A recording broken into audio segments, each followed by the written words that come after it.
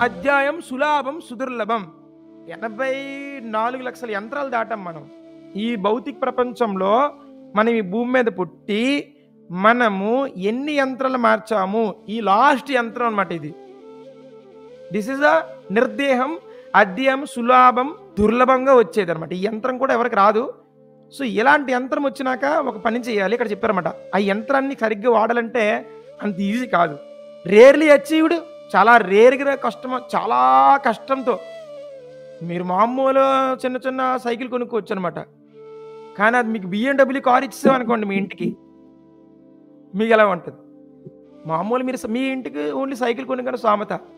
అదే మీకు BMW car ఇచ్చేస్తే వావ్ అంటారు కదా. సో లైక్ దట్ మనకి కూడా మానవ శరీరం వచ్చిందనమాట ఆ బిఎండబ్ల్యూ కార్ ఉపయోగించలేదు అనుకోండి దానిపైన బట్టల రైడాలు పేడ రైడాలు అనేసారు అనుకోండి యూజ్లెస్ అనమాట మనం కూడా మానవ శరీరంతో కొన్ని ఇంపార్టెంట్ కార్యాలు చేయాలి. ఇప్పుడు ఎవరు చేయడంలే. అంతా ఈ తోలికి అట్రాక్షన్లోనే తిరుగుతున్నారు అటు ఈ హ్యూమన్ బాడీని మీరు రాసుకోండి. మానవ శరీరాన్ని ఇక్కడ కృష్ణ మానవ శరీరాన్ని కృష్ణుడు బోట్ అన్నారు బోట్. తర్వాత దాని పడవ నడిపిన వ్యక్తి పడవ నడిపిన వ్యక్తి ఆధ్యాత్మిక గురువు గురు గురు కర్ణధారం. ఎవరికైతే ఈ ఈ యొక్క యంత్రం తీసుకున్నారు వాళ్ళ గురువు లేరనుకోండి వాళ్ళు ఏం చేస్తారు? ఓన్లీ శరీరంలే నిత్యబద్ధలు. గురువు లేకపోతే అయిపోయినట్టే లైఫ్. సర్దుకోవాలి ఇంకా. యూజ్లెస్ అనమాట వాళ్ళు ఎందుకు పుట్టాడు వాళ్ళకి తెలియదు ఏదో ఏడుస్తుంటారు అయిపోయి. గురు గురు కర్ణధారం గురు రావాలా? ఎక్స్పర్ట్ ఆయన తెలుసు బోట్ ఎలా నడపాలో.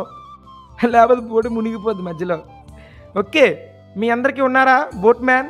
బోట్ ఉంది బోట్ నడిపేవారు అనమాట మరి బోట్ ఉంది బోట్ నడిపేవారు అంటారు మరి గాలి రావాలి కదా. అనా ప్లవంసు కల్పం. ఇక్కడ ప్లవంసు కల్పం అంటే భగవంతుడు బ్రీజెస్ అనమాట ఆయన గాలి. ఓకే? ప్లవంసు కల్పం గురుకర్ణ దారం. ఇక్కడ భగవంతుడు గాలితో పోలుస్తారు.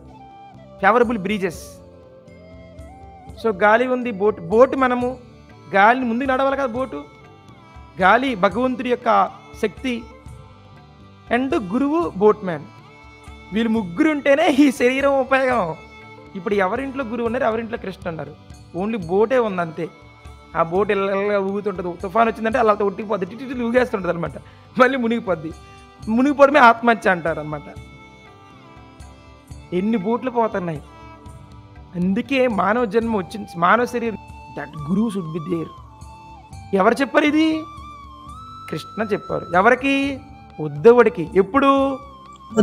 అవతార లాస్ట్ టైంలో చెప్పారనమాట తర్వాత one who does not utilize this human birth for crossing over the ocean of material existence ఆ సముద్రాన్ని దేంతో చూసారంటే మెటీరియల్ ఎగ్జిస్టెన్స్ అంటే అది ఎంత దూరం వెళ్ళినా సముద్రం బాధలో ఉంటుంది అనమాట బాధ సముద్రం అని అనొచ్చు కావాలంటే. మెటీరియల్ ఎగ్జిస్టెన్స్ ఈ సర్టైన్లీ అంతే ఇప్పుడు వాళ్ళిద్దరిని గురువుని కృష్ణుని పక్కనెట్టేసి ఆయన అలాగే ఉన్నారనుకోండి ఇది killer of his own soul నా తరైతే సా ఆత్మ అయిపోయింది అయిపోయింది ఓకే? ఇక్కడ కృష్ణ క్లియర్ చెప్పేశారన్నమాట. ఉద్ధవ గీత. ఏం చెప్పారు? మానవ శరీరం ఉంది దాన్ని బోటు ఆ మానవ శరీరము దుర్లభమైనది ఓకే? అండ్ చాలా లాభం సులాభం. అయ్యో ఈ భౌతిక ప్రపంచం నుంచి బయటపడడానికి ఏ యంత్రంతో పని కాదు. ఓన్లీ ఈ శరీరం యంత్రమే మానవ శరీర యంత్రమే. కుక్క నక్క బల్లి పిల్లి నథింగ్ అవన్నీ ఏడ్చినాయి. చా అన్ని జంతువులు ఏడ్చామన్నమాట. మళ్ళీ మానవ యంత్రం తీసుకొని కూడా ఏడ్చారనుకోండి యూజ్లెస్ ఫిలోస్ అనమాట మానవ శరీరం ఏడవడానికి కాదనమాట మానవ శరీర యంత్రం అనేది అర్జెంట్ గురువు తీసుకోవాలా? గురు కర్ణధారము అండ్ ప్లవం ప్లవంసు కల్పం అంటే కృష్ణుణ్ణి గురువుని పెట్టుకొని దీన్ని ఇప్పుడు హ్యాపీగా నడుపుకుంటూ వెళ్ళాలి. ఇప్పుడు మీరందరూ మీ జై మీ జీవితంలో గురువు వచ్చిన తర్వాత మీరు ఎంత హ్యాపీగా ఉన్నారు? సుదుర్లభమా? సులాభంగా ఉన్నారా? సులాభంగా ఉన్నారా? సునష్టంగా ఉన్నారా? సులాభం ప్రభుజీ. సులాభం. సులాభం అండ్ సులభం. లేదనుకోండి పాటలు పాడుకోవాలి ఇంకేడు పాటలు. Okay?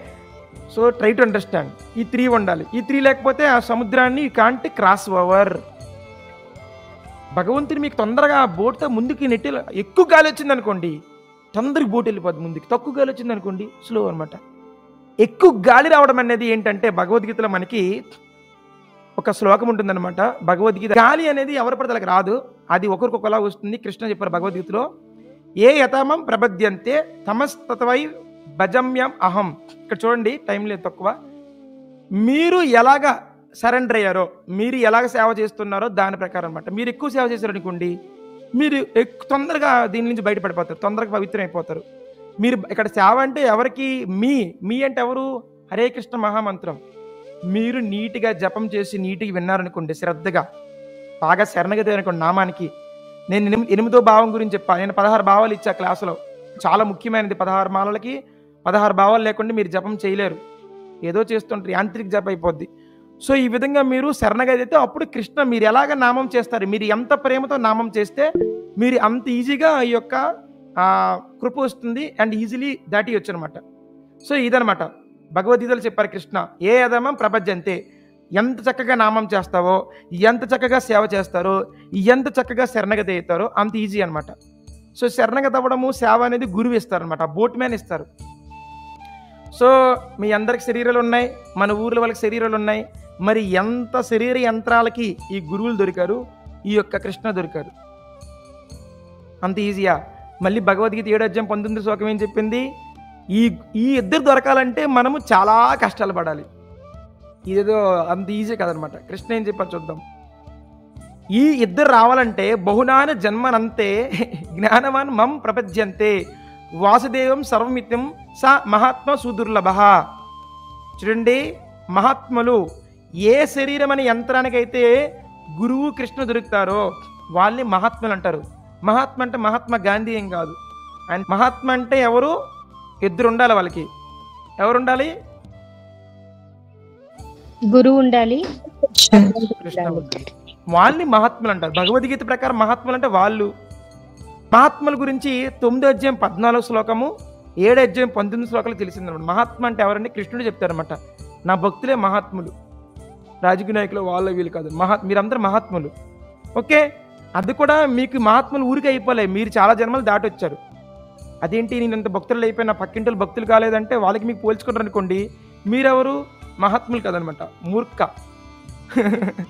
ఓకే? ఇప్పుడు మీకు అర్థమైంది కదా? ఈ యొక్క main points so we discuss Chaitanya Charitamrita Uddhava Gita Bhagavatam and Bhagavad Gita all shlokas ఉపయోగించి what is conclusion point of this class is this శరీరం తోలు లోపల చాలా అభినాక్షస్ ఉంటాయి దీన్ని మీరు ఫీల్ అయిపోకూడదు ఈ యంత్రాన్ని గురువు యొక్క బోధనలు నామంతో నీట్గా ప్రశాంతంగా ఆ సముద్రం ఆ యొక్క కష్ట సముద్రంలో మీ బోట్లో మీరు కూడా మీరు వేసుకో ఓకే బోటు మీరు కాబట్టి మీతో పాటు చాలా బోట్లు ఉంటాయి మీ ఇంట్లో నాలుగైదు బోట్లు ఉంటాయి అంటే అందరూ మంచిగా భక్తి చేసుకుంటారు అనుకోండి అన్ని బోట్లు కూడా నీట్గా వెళ్ళిపోతాయి. లేకపోతే ఏదో ఒక బోట్ మునిగిపోద్ది అప్పుడు మీరు ఏం చేయలేరు అనమాట ఈ విధంగా నిత్యముక్త దృష్టి ఈ విధంగా నిత్యముక్తతో ఈ హైర్ నాలెడ్జ్ చూడాలి ఈ యొక్క ఈ యొక్క మన జీవితాన్ని. లేకపోతే నిద్రపోవడము లెగడము తినడం ఎలాగో ఉంటుంది అనమాట ఏడ్చుకోవడము గొడవ పడడం. సో జ్ఞానం అనేది ఖచ్చితంగా ఇంపార్టెంట్ అనమాట మీకు అందరికి అర్థమైంది ఈ పాయింట్ అన్ని? All points అర్థమయ్యాయా?